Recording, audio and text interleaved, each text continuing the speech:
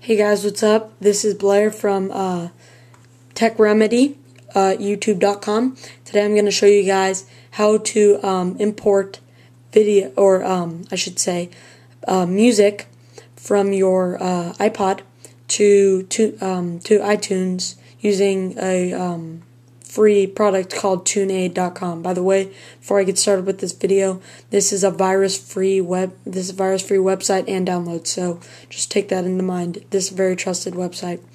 So uh, first off, you're going to want to go to internet, Google, and you're going to want to type in TuneAid.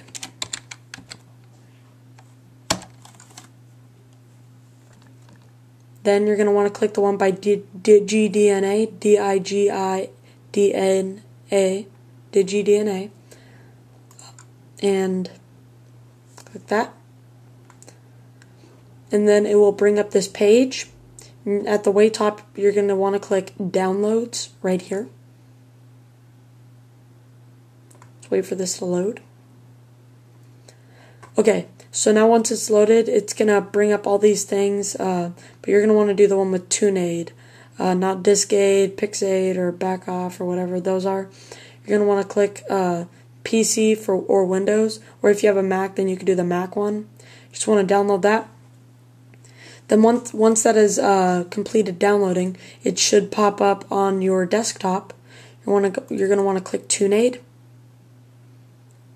and uh, you're gonna have to plug in your device and then it will imp- and then it will uh, recognize all the songs from your iPod and put them onto TuneAid, and from that you will uh, copy. You will uh, see them all on the screen, and then you're gonna want to click 25 at a time. Just highlight 25 at a time, and uh, then click copy to iTunes at the way top. And that will copy those 25 songs onto iTunes without um, any problems. You will just do them in intervals of 25. Uh, you can do as many as you can just in intervals of 25. So just 25 um, copy to iTunes. Wait for that to copy. Then another 25 copy to iTunes. It's kind of inefficient, but this is the free version of this. So um, yeah, thank you all for watching. Um, Tech Remedy videos. And go subscribe, and I will see you all later. Thank you for watching.